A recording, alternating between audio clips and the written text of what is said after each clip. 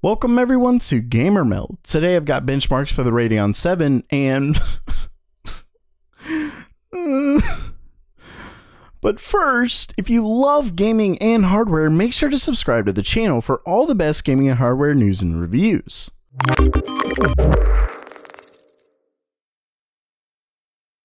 AMD's newly announced Radeon 7 GPU is set to go toe to toe with NVIDIA's newest RTX 2080, but at a similar price, the Radeon 7 needs to bring something to compete with the added features of the 2080. Sure, plenty of games don't support ray tracing, but at the same price, there's just no reason to purchase the Radeon 7 over it without either an exclusive feature or higher performance. In comes today's first story. We have some early leaked benchmarks for AMD's Radeon 7. The first few were found by Tom Apisak and shared on his Twitter. They're all 3D Marks Firestrike and each one shows a generic VGA device by AMD. Fortunately, these scores are way too high to be anything but the new Radeon 7, though as always, a hint of skepticism is needed. When it comes to the scores themselves, it actually beats NVIDIA's 2080 by 3 to 4%. And while it's not a huge number, it could be enough for those completely uninterested in ray tracing or the AI based features of NVIDIA's cards.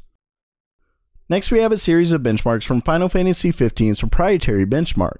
It was found and shared by Komachi, and in them, the Radeon 7 doesn't fare so well against the 2080, which actually gets as high as a 50% performance increase over the Radeon 7. With that said, let's not forget that these are likely early drivers coupled with the fact that Final Fantasy XV is more of an Nvidia title that definitely favors their cards. Really, it seems the Radeon 7 could trade blows with the 2080, potentially making the choice for cards based on the specific games you play and plan to play moving forward. It's obviously too soon to say for sure, but most of the preliminary benchmarks suggest as much. Lastly for today, GPU prices could be going up again. Boo!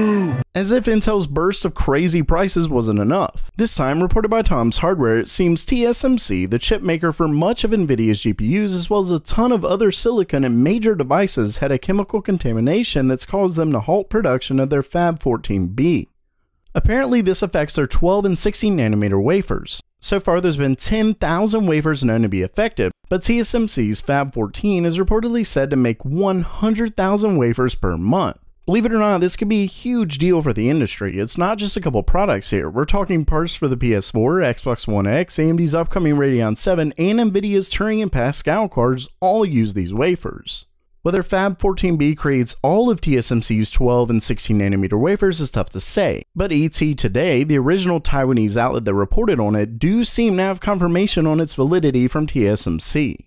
Now, depending on how quickly this can be resolved, we very well could start seeing prices rise as current stocks sell out and the sales pipe is more constrained. Obviously, this is more of a possibility, but we've seen this event take place more recently with Intel's supply issues leading to some seriously high prices of their more recent 14nm chips. Of course, while Intel somewhat denied these claims, the price hikes seem to make it pretty obvious. Let's just hope the issue can be fixed quickly, or we could have our next price increase, further making it harder and harder to build a PC. Fingers crossed. So while that does it for today, what did you think of the news? Are you excited for AMD's upcoming Radeon 7 or are you more worried about prices? Let me know down in the comments below, and if you liked the video, definitely make sure to subscribe. And as always, have a great day.